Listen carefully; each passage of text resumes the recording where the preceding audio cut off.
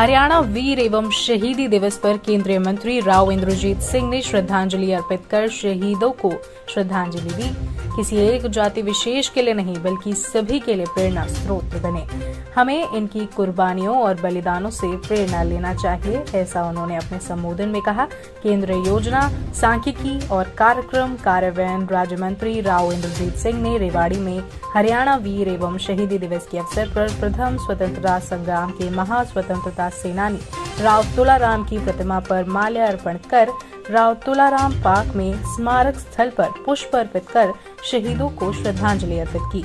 राव इंद्रजीत सिंह ने कहा कि वीर शहीद हमारे लिए सदैव प्रेरणा स्रोत हैं और हमें उनके द्वारा बताए गए पद चिन्हों पर चलते हुए देश, प्रेम और भाईचारे की परंपरा को कायम रखना चाहिए।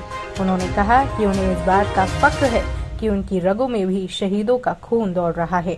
उन्होंने कहा कि हरियाणा प्राचीन समय से ही योद्धाओं, देशभक्तों और रणबांकुरों की धरती रही है। हरियाणा का इतिहास शहीदों एवं वीरों की शौर्य और वीरता से भरा हुआ है। अठारह सौ सत्तावन की। उसके अंदर जो शहीद हुए थे, उसके बाद आज़ादी के दौरान जो शहीद हुए थे, लड़ाइयाँ तीन हुई हैं हमारी। बासठ की हुई है, पैंसठ की हुई है, इकहत्तर की हुई है। कारगिल का युद्ध हुआ है उसके उपरांत। जो भी शहीद चाहे लड़ाई में हुआ हो और चाहे सीमाओं को सुरक्षित रखने के लिए शहीद हुआ हो, उन सबको हरियाणा के जगह जगह के ऊपर आज के दिन शहादत दी जा रही है उनको याद किया जा रहा है।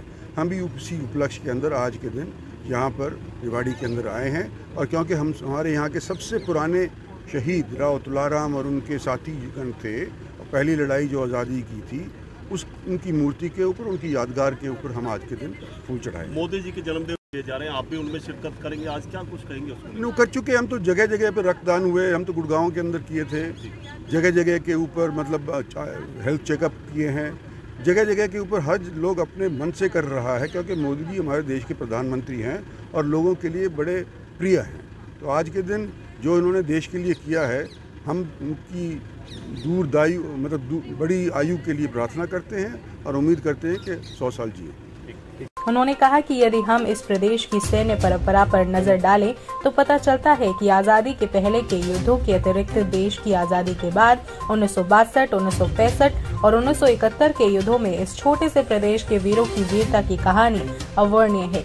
तथा मैं देश के ऐसे ज्ञात और अज्ञात शहीदों को श्रद्धांजलि अर्पित करता हूँ और उन्हें नमन करता हूँ, जिनकी कुर्बानी की बदौलत आज हम आज़ादी की खुली हवा में सुख की साँसें ले रहे हैं।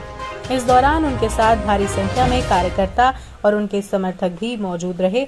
अतिरिक्त उपायुक्त एस डी एम रेवाड़ी, पूर्व मंत्री सुनील यादव, पूर्व संयुक्त निदेशक एस के जोशी, पूर्व कर्मचारी चयन के सदस्य राघवेंद्र सिंह, राव इंद्रजीत सिंह के निजी सचिव रवि यादव, पार्षद मुकेश जाहिदपुर अहीर कॉलेज के प्राचार्य इंद्रजीत सिंह सहित अनेक गणमान्य लोगों ने भी शहीदों को अपनी श्रद्धांजलि अर्पित की।